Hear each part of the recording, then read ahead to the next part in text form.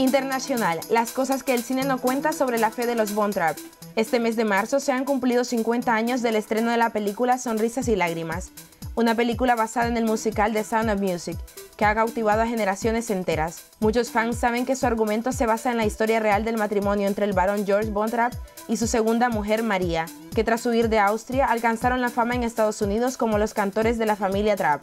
Este grupo estaba formado por María, los siete hijos del capitán Von Trapp, con su primera mujer y con el tiempo también los tres hijos nacidos del matrimonio de George y María. Sin embargo, muchos no saben hasta qué punto la fe y la vivencia católica hizo posible esa historia que tanto admiran. Desde su matrimonio, George y María Von Trapp hicieron de la vivencia de la fe el eje de su vida familiar de forma inseparable a la música. De hecho, empezaron a cantar no solo por amor a la música, sino como forma de oración, y los momentos familiares importantes siempre se vivían en familia, cantando piezas religiosas acordes a la ocasión. Si se lee despacio la historia de esta familia, se comprobará que pasaron por muchos momentos de dificultad y de precariedad económica precisamente por no traicionar su fe. De hecho, su lema familiar era, buscad primero el reino de Dios y su justicia, ya sea dejando tu país para no traicionar tus creencias o viviendo con alegría la incertidumbre y la pobreza.